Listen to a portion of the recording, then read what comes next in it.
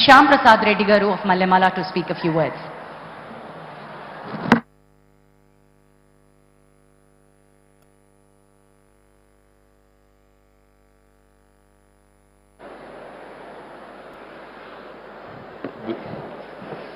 వేదిక పైనున్న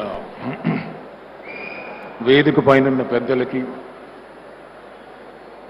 రామోజీరావు గారి కుటుంబ సభ్యులకి అందరికీ నమస్కారం.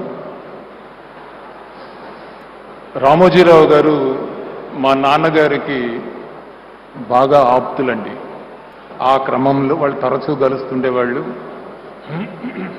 ఆ క్రమంలో నాకు చిన్నప్పటి నుంచి పెద్ద ఆయనతో పరిచయం రామోజీరావు గారితో పరిచయం. ఆరు నెలల నుంచి తొమ్మిది నెలల ముందు నాకు ఒకసారి అనిపించింది రామోజీరావు గారిని కలవాలని. ఆయనతో ఒకసారి మాట్లాడాలా అని. అప్పుడు ఈటీవీ హెడ్ మా బాపినీడి చౌదరి గారితో కలిసి సార్ రామోజీరావు గారితో ఒకసారి కలవాలని ఉంది సార్. కానీ ఐదు నిమిషాలు పది నిమిషాలు కాదు. ఒక మూడు నాలుగు గంటలు మాట్లాడాలని మనస్ఫూర్తిగా తృప్తిగా ఒక త్రీ ఫోర్ అవర్స్ మాట్లాడాలని అనుకుంటున్నాను సార్. అర్జెంట్ ఏం లేదు సార్. ఆయనకి ఎప్పుడు కుదిరితే అప్పుడు చెప్పండి సార్ అంటే ఒక రెండు వారాల తర్వాత నాకు ఫోన్ వచ్చింది. రమ్మన్నారు. నేను వెళ్ళేటప్పుడు మా పాపను కూడా వెంటబెట్టి తీసుకొని వెళ్ళాను. I took my daughter along తీసుకొని వెళ్ళి పెద్ద ఆయన దగ్గరికి రామోజీరావు గారి దగ్గరికి తీసుకొని వెళ్ళి పరిచయం చేశాను. సార్ మై డాటర్ మా పాపకి నా కూతురికి మీ బ్లెస్సింగ్స్ కావాలి సార్ అని అన్నాను.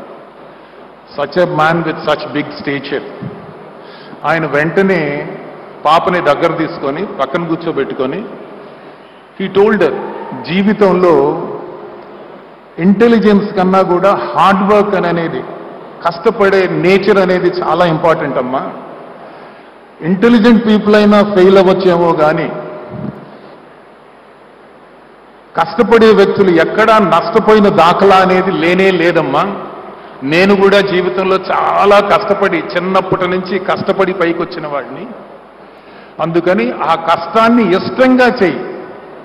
అంతేగాని ఇబ్బందికరంగా ఫీల్ అవ్వద్దు. సో కష్టపడమ్మా అని ఆయన చెప్తుంటే మా పాపకి ఆయన ఏంటి ఆయన స్టేచర్ ఏంటి?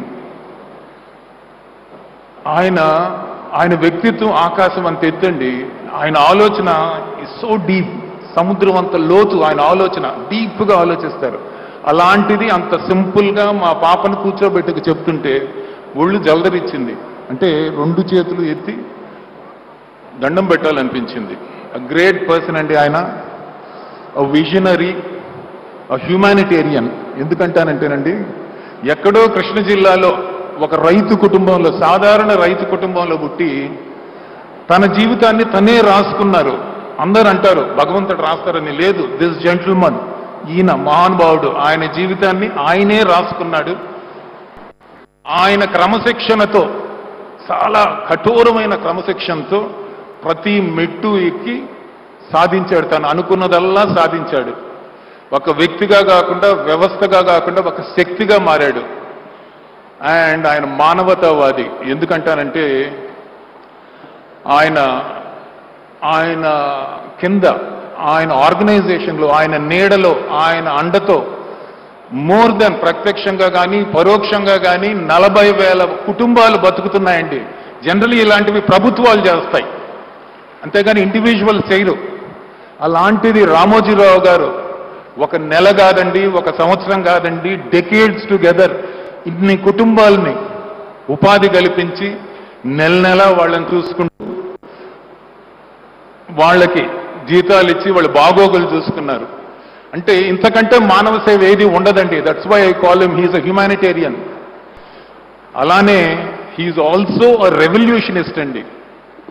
అంటే సమాజంలో మార్పు కోసం ఆయన కళాన్ని బలంగా తీసుకొని ఆయుధంగా తీసుకొని ఆయన దగ్గరుండే రిపోర్టర్స్ ఆయన దగ్గరున్న జర్నలిస్టులు ఆయన దగ్గరున్న editorial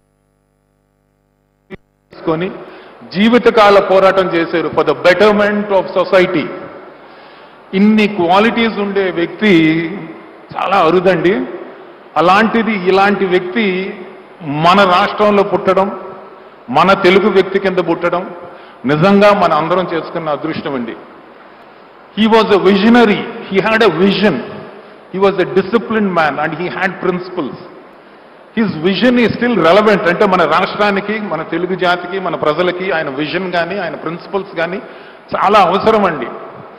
And I believe that they are relevant and I'm sure his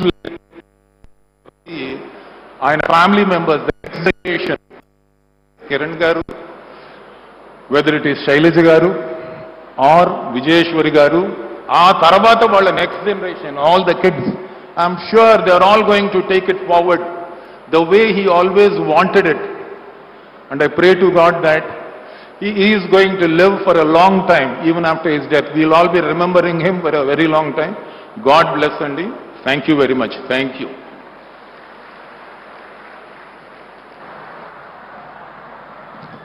thank you very much Shyamprasad Reddy గారు. డ్యూటీ డివోషన్ అండ్ డిసిప్లిన్ మనిషికి